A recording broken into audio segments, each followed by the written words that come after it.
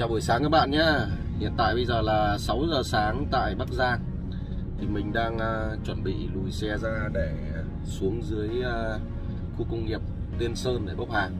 Hôm nay mình sẽ làm cái clip uh, trước tiên là xuống đó bốc hàng đã. Rồi quay một chút cung đường ở Bắc Giang và dưới uh, Bắc Ninh nữa Để gửi đến các bạn. Đấy, Sau đó thì uh, trên đường đi có gì nó hay ho ăn uống trên đường hay thế nào thì mình quay thêm. Lần này anh em yêu cầu bảo làm clip quay ăn uống trên đường. Đấy, thì bây giờ mời anh em cùng theo dõi cái hành trình của mình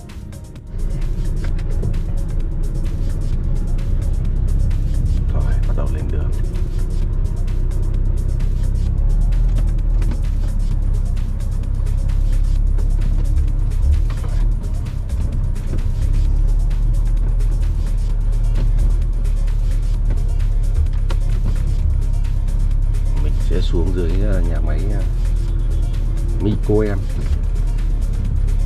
Để bốc mì tôm đi vào Bình Dương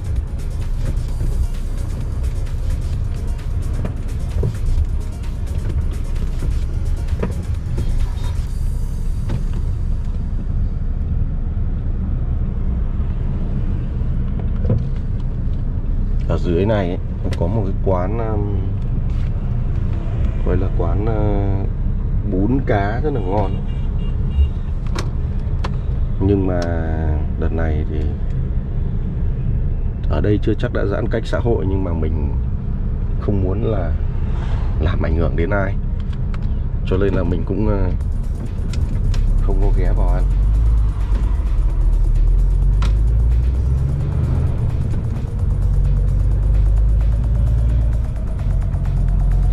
Trước là Việt Thú ờ, dắt mình đến cái quán ờ, bún cá này ăn biết được ở đây là có quán bún cá ngon.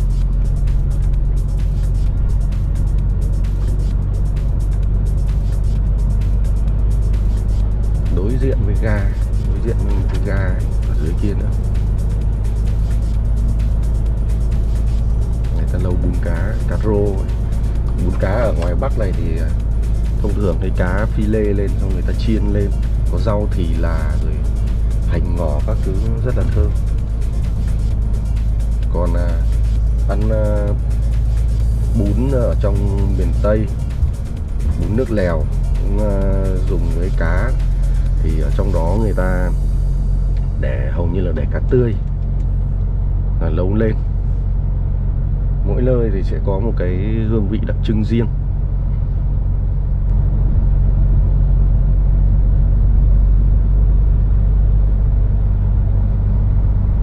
ở đây buổi sáng này các bạn nhìn thấy rất là nhiều những cái xe mà chở công nhân này, đi các khu công nghiệp, hầu như là chở nhiều nhất là về Samsung. Xe trắng này này. Sáng ra đi gặp mấy xe trắng này là đông lắm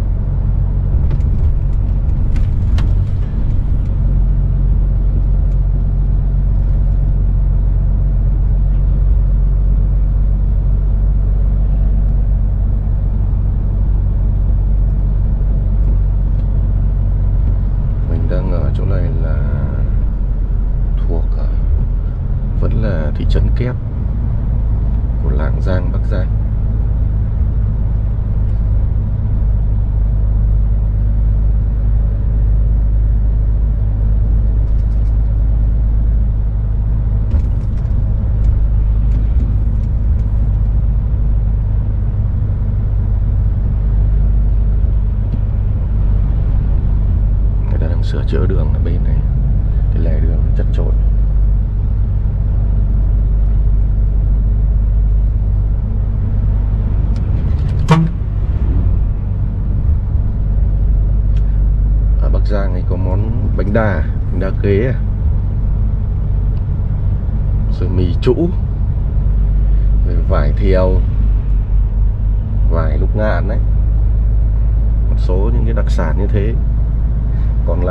số đặc sản khác thì anh em à, điền tiếp ở địa phương mình vào nhé.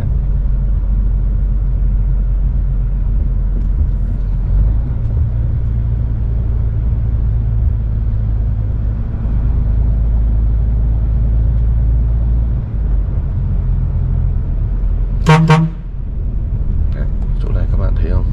Lộn xộn không? Xe cộ này, đậu ngang, đậu dọc này, đậu giữa đường này máy đi lại này. tạt ngang tạt dọc này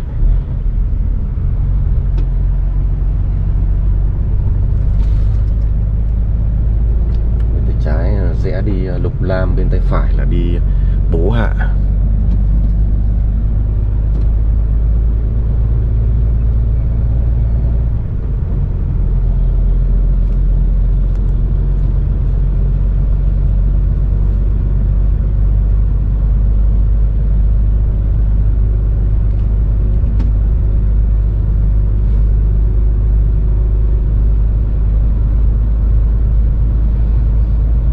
chạy xe này quay lên kể nhiều cái hay các bạn ạ không bóp còi cũng có nhiều người bình luận vào tình huống đấy sao anh không bóp còi?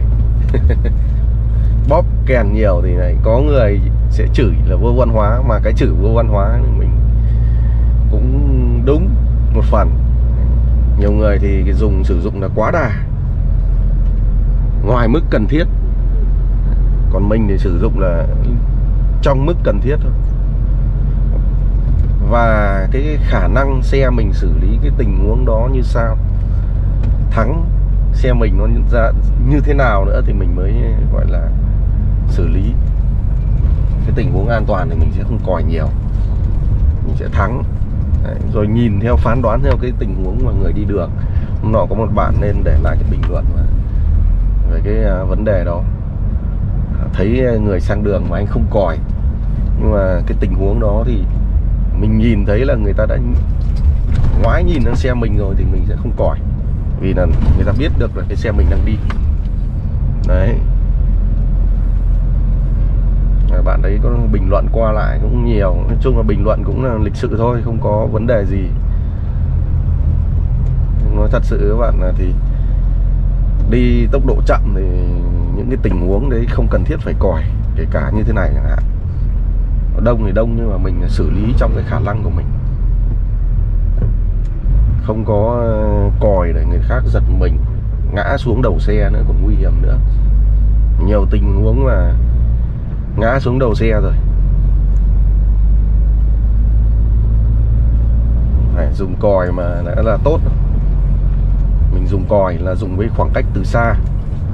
Ví dụ như từ đây đến khoảng cách những người xe máy đi đường trước thế, để người ta biết được đường phía sau có xe thôi. Chứ còn nếu bạn, các bạn cách người ta khoảng mấy mét, các bạn còi là nhiều người họ đang uh, tập trung suy nghĩ một cái gì đó thì họ rất là dễ là giật mình té ngã ra. Nhất là đối với người lớn tuổi phụ nữ. Đấy. Đấy là vấn đề về coi. Là nó là muôn thuở rồi.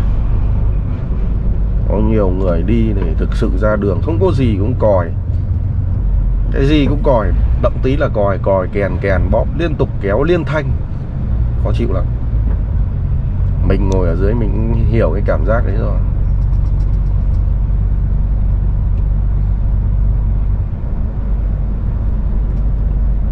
Kể cả như bác này bác đi này bác muốn đang vượt cái xe kia ra nhưng mà cái đầu bác cái ngoái ngoái ngoái, ngoái nhìn vào gương mặc dù không có ngoái đầu lại. Và mình nhìn cái là mình phán đoán được. Đấy. người ta nhìn vào gương người ta không muốn vượt là ấy. Còn nhiều người không có nhìn vào gương nhưng người ta lách ra. Nhiều kiểu đi lắm các bạn ạ bọn mình đi bây giờ nó là một cái gọi là nó quen rồi mình phán đoán được với tình huống rồi.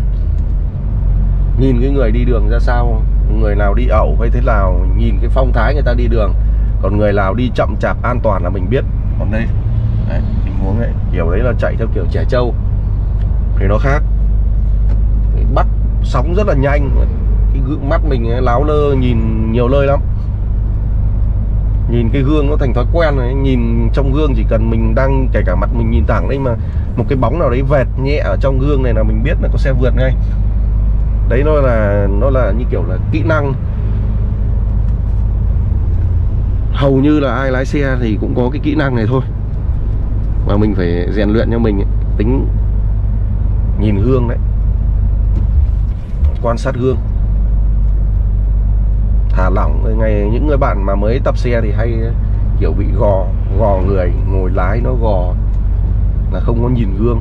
Nhưng mà rồi dần dần đấy kinh nghiệm đi đường nhiều rồi các bạn quen tự tin thì các bạn quen rồi, các bạn đi, các bạn thư thả, ngồi trên xe, các bạn lái thư thả.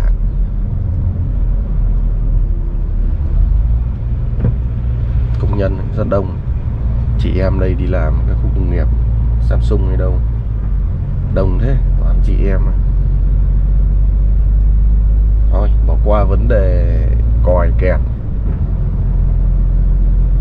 Nhưng mà cái câu mà bạn ấy nói ra mình không hài lòng, đó là anh tú ờ, không còi kẹt như thế, có ngày tai nạn chết người. Mình không thích là sử dụng cái từ chết chóc.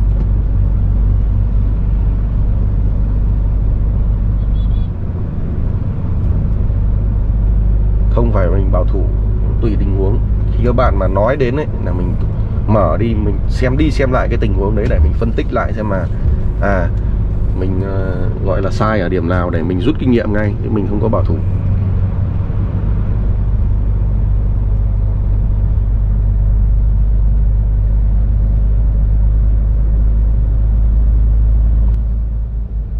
vẫn chưa hết khu vực của Lạng Giang đâu có thể nói như kiểu đây là cái khu vực mà đông đúc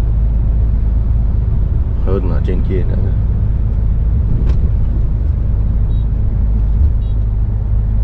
Còn thực ra mình không phải người ở đây ấy, thì không biết là chỗ nào là trung tâm nhất. Bên này là doanh trại quân đội này nhưng là quân đoàn 2 chính xác ấy. Quân đoàn 2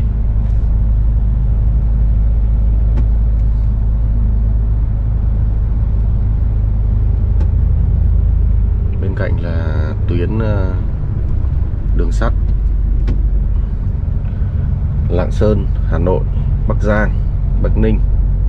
Đi qua mấy tỉnh này. Ở đây rất là nhiều chị em đi làm đang đứng ờ, đợi xe này xe công ty đến đón này. Có gấu của anh nào thì ra đây nhận về nha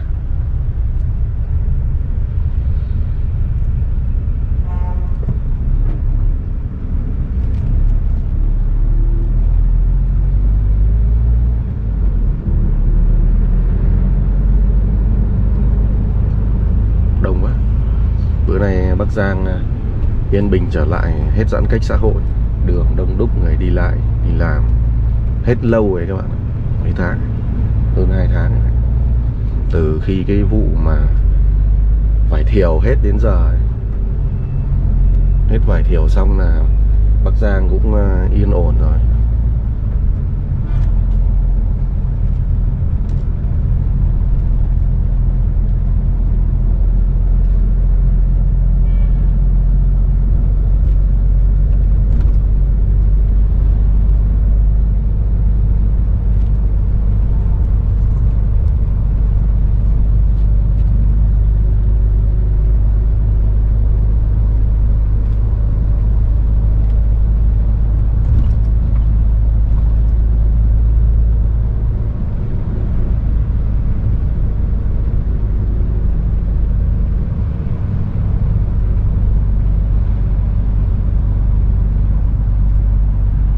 đường đông quá đi chậm.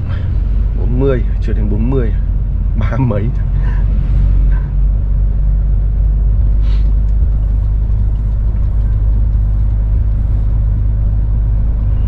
Thường sáng ra mình à, quen giấc hơn 6 giờ mình dậy rồi nhưng mà cứ nằm lăn bên họ lộn bên kia. Nếu mà vì nó không có vội ấy, vội thì thường là dậy cái là mình sẽ đi luôn nhưng mà đến giờ xuống dưới thì khu công nghiệp. Nhà máy người ta phải ngoài 7 giờ ra người ta phải làm việc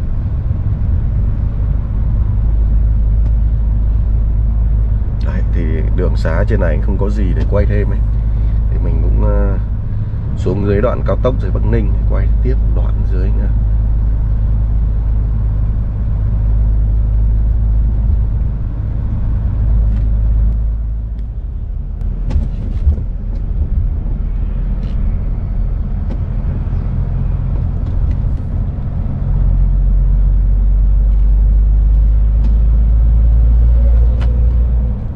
Đây mình đến địa phận của thành phố Bắc Ninh đấy các bạn ạ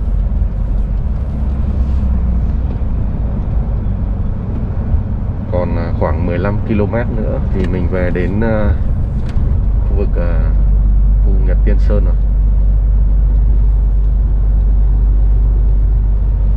Thành phố Bắc Ninh là một trong những tỉnh giàu nhất Việt Nam ấy. hình như top 10 ấy. lâu lắm rồi mình có xem một cái video nói về những tỉnh giàu nhất Việt Nam thì trong đó là có Bắc Ninh.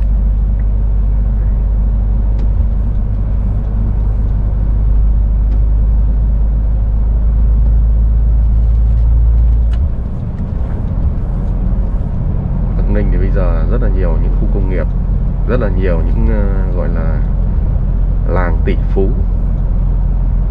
Từ cách đây khoảng cỡ mười mấy năm là đã có những cái làng tỷ phú đấy rồi.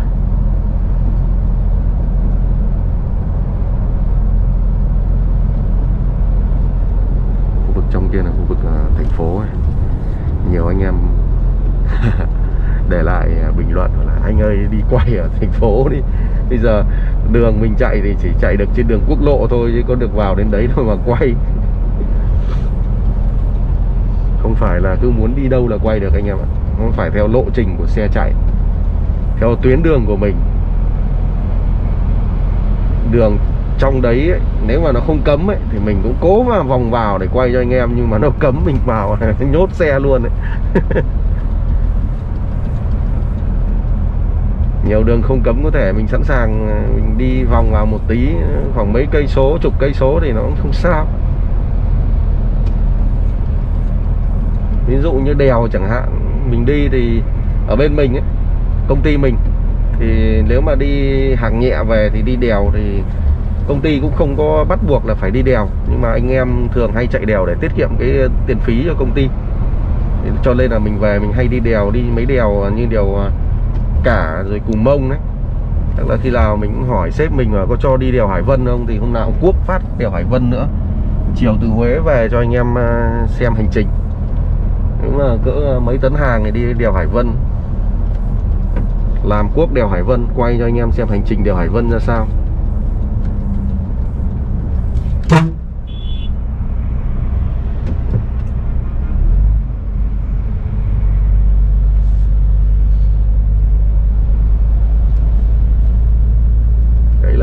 dự tính của mình. Tương lai có thể là mình tính xin đi hẳn à, một phát là đèo ngang nữa cơ. Để quay cơ. Nào mình à, có thời gian mình sẽ nói chuyện với à, sếp. Có dịp cho em đi trải nghiệm thử cái đèo ngang quê em xem nó thế nào xem ờ, sếp mình báo sao. Đấy. Đó là những cái ờ, dự tính. Trải nghiệm những cung đèo. Hôm nọ đi ờ, đèo Hải Vân thì không có trải nghiệm gọi là đầy đủ được. Cho chiều xuống thì cho Việt Đà Nẵng là chạy rồi. Mình chỉ có chạy là chiều đi lên thôi. Hàng nhẹ mấy tấn, công ty mình thì hay đi hàng nhẹ.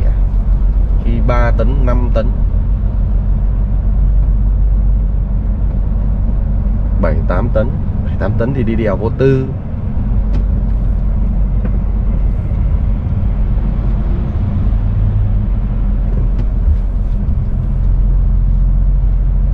Nhưng mà cái đấy thì cũng phải để dịch nó ổn thì mới đi được. Chứ đợt này ở Đà Nẵng thì người ta chống dịch, người ta không cho đi qua khu vực đường thành phố của họ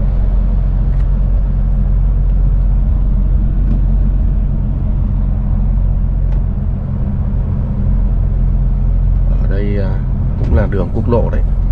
Đường ờ, cao tốc thì các bạn ạ nhưng mà cái đoạn ở dưới Bắc Ninh này trở xuống là người ta cho xe máy đi cùng. Xe máy bên trong này có biển giới hạn là tốc độ là 50 này. Xe à, tải các thứ của mình là chỉ chạy được 70 thôi. Và phân làn làn trong này xe tải. Kể mà người ta đi à, cho đi hai làn thì rất là dễ đi. Mà người ta cho đi có một làn này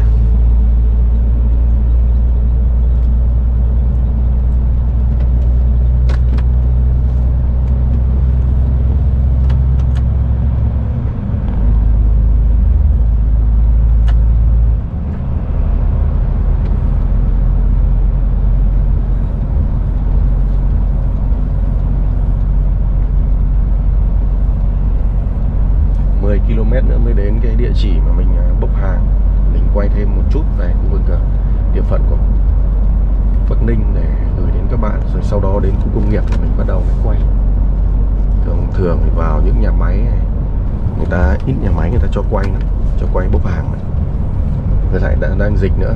Mình thì đi ờ, từ những cái vùng nhạy cảm nên là mình phải giữ cái an toàn cho ờ, nơi khác. Bây giờ người ta đang ờ, ổn định đời sống rồi. Đấy, không phải là đi xuống quay lung tung lung tung ảnh hưởng đến ví dụ vô tình có gì đó thì ảnh hưởng đến rất là nhiều người. Không phải là một người đâu. Mong rằng tất cả anh em mình làm nghề lái xe đều nghĩ đến điều đấy và không kể nghề lái xe mà tất cả mọi con người đều nghĩ đến cái điều đấy. Khi mình di chuyển từ vùng này đến vùng khác thì cố gắng là khai báo y tế một cách trung thực. Chính xác cái thông tin như quê mình hiện tại như thế. Ở, ở quê mình bây giờ có một người đi từ đâu đó về.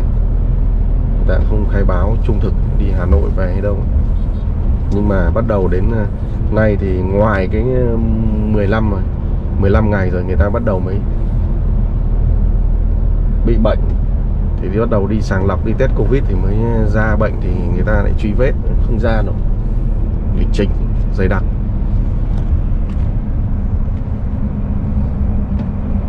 Quê mình bây giờ phải giãn cách theo chỉ thị 16 xe đi rất là hỗn loạn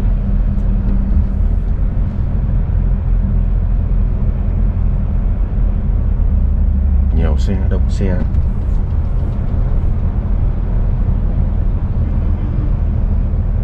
Trẻ ngang trẻ dọc.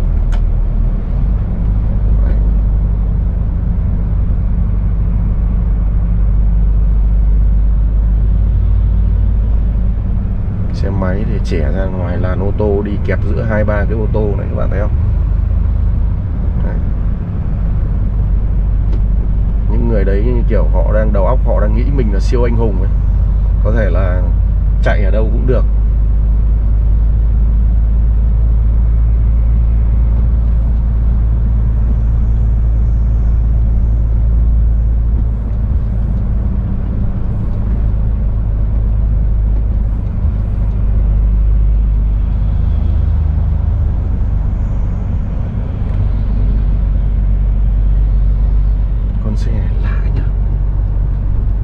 sinh gì đấy hình như xe Trung Quốc hay sao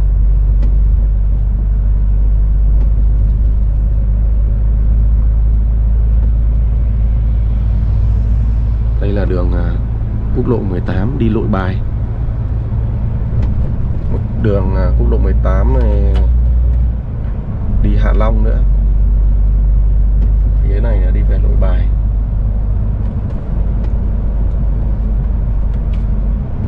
đi lội bài thì ui ui ui ui ui thế mà hắn tạt ra kìa. Thấy không? Mình giảm tốc độ lại đấy. Hay không? Đấy, dù mình nói nhưng mà ờ, mình vẫn luôn để ý đường nên là anh em yên tâm. Không bao giờ là nguy hiểm. Nguy hiểm chỉ có là cái người khác tạo ra cho mình thôi. Chứ còn mình không có chạy là chạy láo chạy ẩu chạy rất là đúng tốc độ chạy đúng làn mình.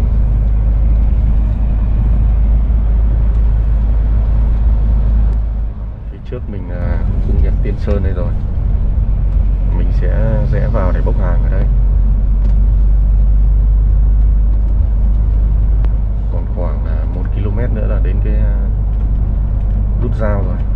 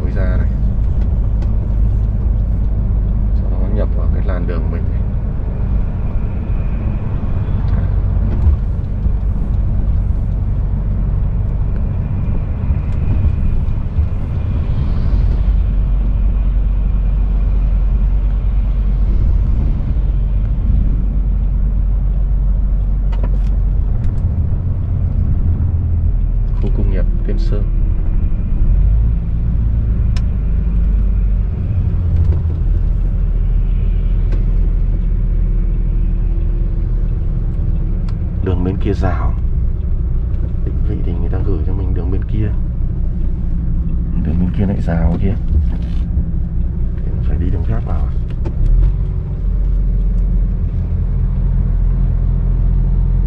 à, trên này có chốt kiểm dịch và kiểm dịch đã thôi tắt cái máy lại để khai báo y tế đã người ta rào vào để khai báo y tế đấy.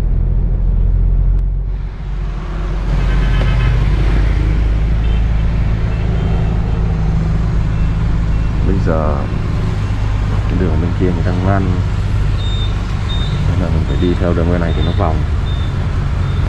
TS11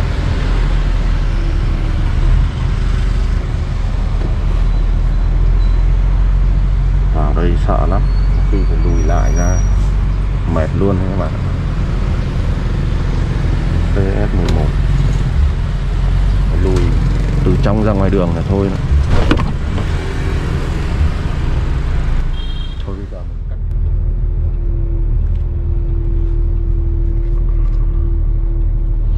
rồi bây giờ mình sẽ dừng xe đây rồi đi à, đăng ký trước đấy có một xe công rồi. Như thế này biết thế đêm qua phải đây đậu cho xong rồi. Ai chà, quên mất đấy. Sau tài đấy. Đây, bữa sáng của mình đây, của một quả na này. Rồi, ăn cái hộp xôi ờ, từ hôm qua. Còn đang thừa một nửa hộp là phải ăn hết luôn. Mình không có thói quen là bỏ phí đồ ăn mọi giá là hộp cơm mà khi mình đã mua về là phải ăn hết.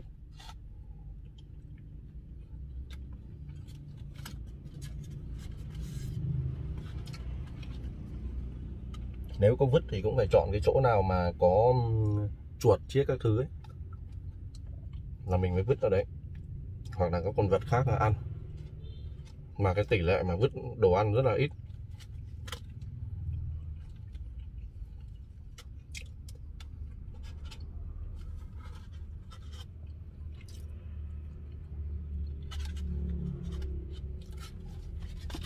xôi sáng tối hôm qua rất ngon mà hôm nay nó hơi khô các bạn.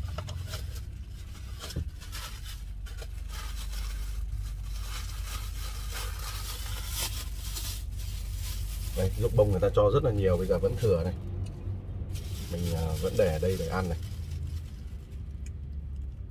Đấy, không có phí đi đâu lãng phí thực phẩm là sau này là khổ lắm, không có đồ ăn đâu. Mình đã từng trải qua cho nên là cái đánh đổi lại rằng là những cái sự thất bại trong công việc liên tục ấy từ ngày mình biết trân trọng những cái à, đồng tiền mình làm ra rồi những cái thực phẩm mình làm ra, rồi ăn uống là mình biết không bỏ phí thì mọi thứ nó đều tốt đẹp hơn.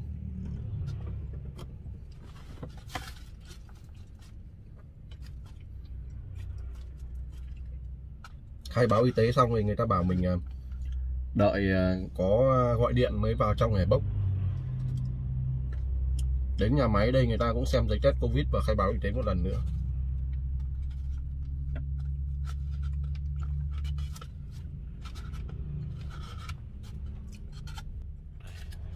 Mình chuẩn bị vào cái kho này để bốc hàng này. Và chờ cái chiếc công ở bên trong ra là mình vào. Thì vừa mới bước đến cổng thì thấy có biển cấm quay phim chụp ảnh đấy.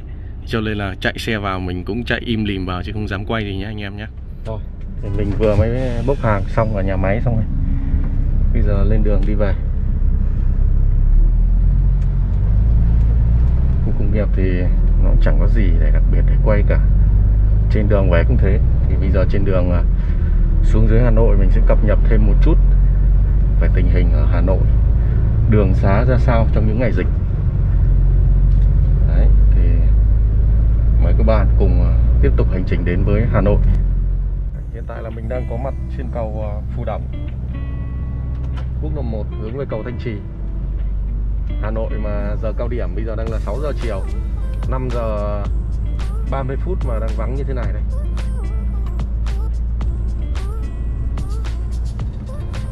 Phương tiện à, đường thủy ở dưới này còn có vẻ là đông hơn cả đường bộ.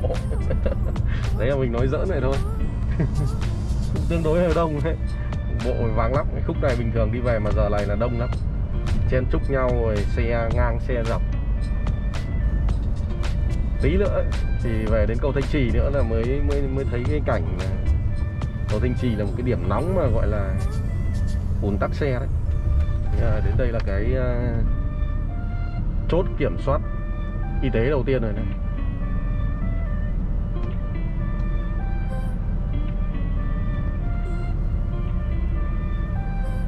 Không biết rằng là xe tải sẽ đi vào cái làn nào đây. Mình chưa thấy có cái biển chỉ dẫn hướng hướng dẫn ấy. Hình như là như mình đây có luồng xanh đây thì nó cũng dễ dàng lưu thông. Chạy ra ngoài này để đỡ vướng những cái xe đi trong.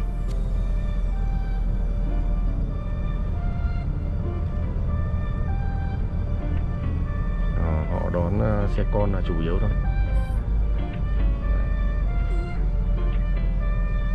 Mình cứ giảm tốc độ chủ động giảm tốc độ lại. Để rồi à, cho họ xem họ kiểm soát là sao.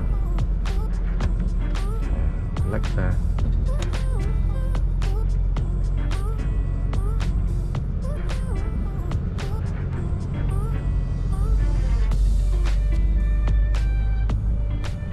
Thẳng luôn. Có luồng xanh rồi các anh không kiểm soát nữa. Vậy là nhanh đấy. Hà Nội thì làm rất gắt thì rất là gắt. Nhưng mà khi mà chấp hành đấy cái luồng xanh có là đi luôn nhiều tỉnh có luồng xanh vẫn bắt đứng lại. Khai báo các thứ. Nhưng mà không còn để, gọi là cái quy định của ờ, từng tỉnh nó khác nhau mà mình phải chấp hành đó mình nên chấp hành. Vì thực ra là người ta còn sợ là cái vấn đề là những cái xe lợi dụng luồng xanh chở người trái phép nữa cơ các bạn ạ thế nên là mình nên chấp hành. Mà phải như vậy thì mới kiểm soát được những người mà trốn ở trên xe, cái xe mình. Chống trơn. Một cái nguyên tắc của mình bất di bất dịch là không có chở. Dù có giá nào đi nữa. Rất là nhiều người làm giá với mình, nói chuyện bằng tiền không thể được. Đặt vấn đề với mình ấy bằng chuyến lương hay là gì đi nữa, cũng chưa là cái gì cả, kể cả 100 triệu 200 triệu. Cũng không thể chở. Bao nhiêu tiền cũng không thể chở là không thể chở.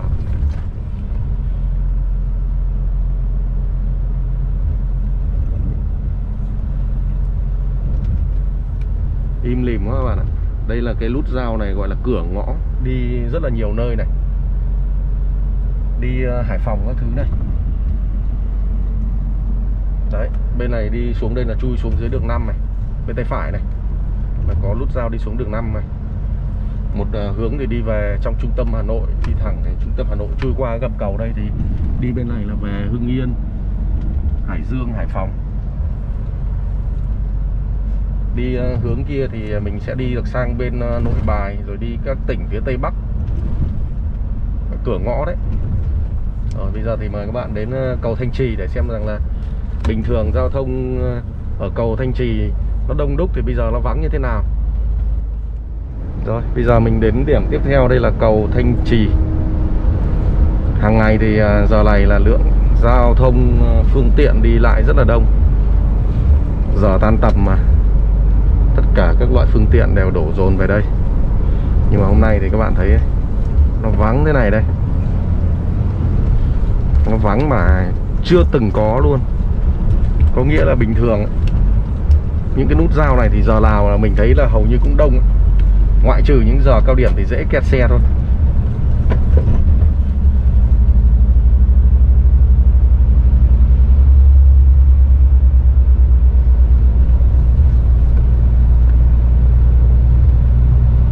Cực kỳ vắng luôn, thông thoáng luôn. Giờ này mà đi vào những ngày mà bình thường, giờ cao điểm là sẽ rất là kẹt xe. Thì à, cái hành trình như ở trong à, Sài Gòn đấy, mình cũng quay rồi. Thì các bạn thấy rồi, này, bên dưới này. Đường D đây cũng rất là vắng này, ngày đông lắm. Hành trình Sài Gòn Đồng Nai mà những tập trước mình quay các bạn thấy là cũng vắng. Và ở ngoài Hà Nội đây mặc dù tình hình dịch bệnh là cũng à, không có nhiều ca như bên trong mà cũng giãn cách xã hội. Cho nên là đường xá bây giờ rất là vắng.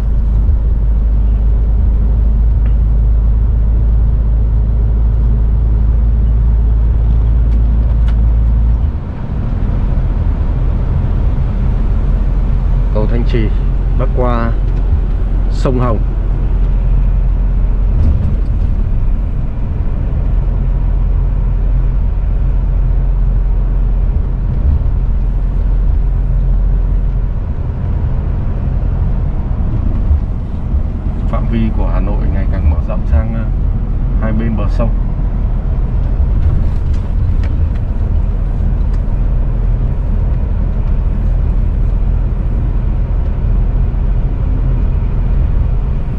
Trước có những dự án là làm những cái ờ, thành phố bên ờ, bờ sông Hồng này, này.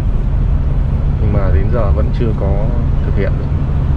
Phía bên kia là cầu Vĩnh Tuy sau đó là đến cầu Trương Dương rất là xa. Tiếp theo đó bên kia nữa như là cầu Nhật Tân rồi cầu Thăng Long. Đấy là những cầu bắc ngang qua sông Hồng như thế này. Để mình có thể đi về trung tâm ờ, thủ đô Hà Nội.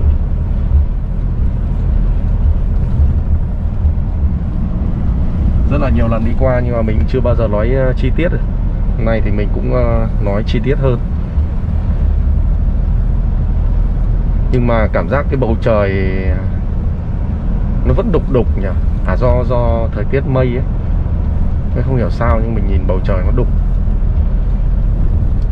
Đục quá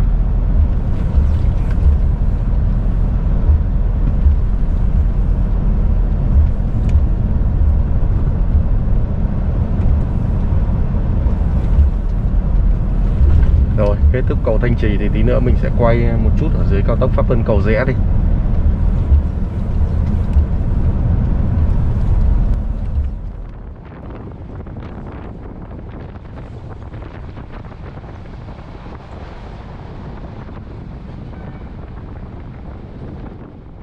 Đây chính là điểm đầu tiên của cao tốc Pháp Vân Cầu Rẽ nha các bạn. Bây giờ phải gọi đúng hơn là là cao tốc à, Pháp Vân Linh Bình. Vì đi về Linh Bình là điểm cuối mà. Ngày xưa thì chỉ làm đến à, cầu rẽ thôi.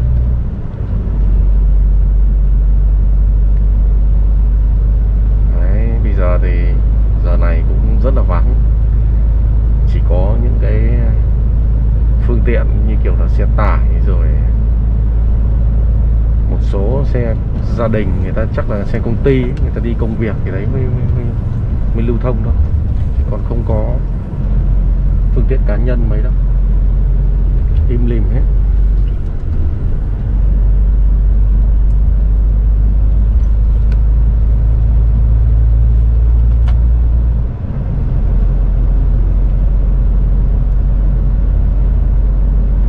Bình thường là chạy đông lắm.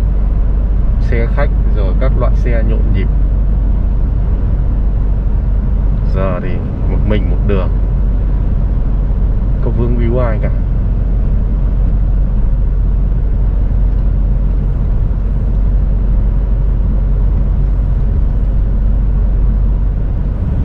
tất cả cái chiều xuống đều vắng cả.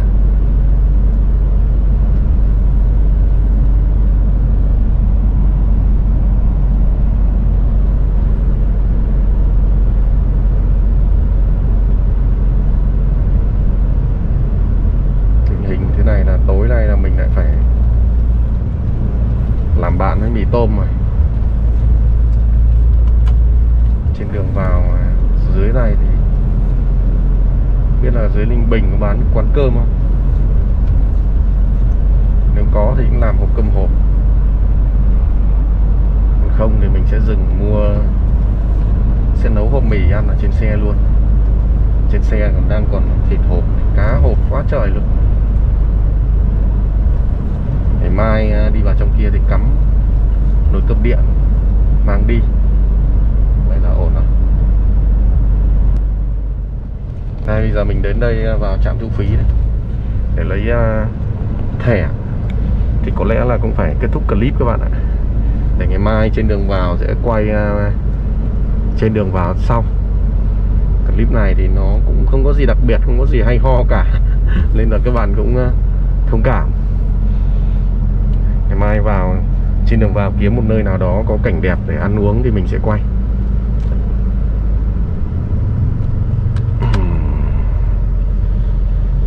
sao lại có chốt chặn ở đây?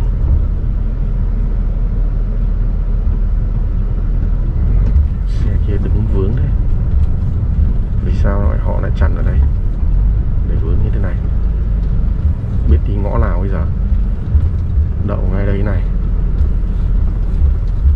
Làn xe luồng xanh. Cái xe này đậu như này, đi vào kiểu gì này? Đấy hay đấy. Vẫn lọt đấy hơi vướng phải đi gọn gọn tí. Làn xe luồng xanh. À, không lấy vé à? à ra đấy người ta vẫn thu. Chứ không có chuyện bỏ không đâu mà không cần phải lấy thẻ ở đây nhưng mà xuống dưới kia hình như là thu hai trăm mấy giảm giá hơn bình thường. Bình thường là ba trăm tư đấy thì uh, mình cũng xin kết thúc cái hành trình này tại đây nha các bạn. Cảm ơn các bạn đã ủng hộ nhé ngày mai ờ, trên đường vào thì kiếm ờ, cái nơi nào mà đẹp đẽ để dừng nấu ăn được thì mình sẽ làm clip mà nấu ăn ven đường. Cảm ơn các bạn đã ủng hộ. Chúc các bạn là luôn mạnh khỏe lạc quan trong cái mùa dịch này. Quan trọng nhất là lúc nào cũng tinh thần phải lạc quan nha các bạn. Cố gắng lên nha.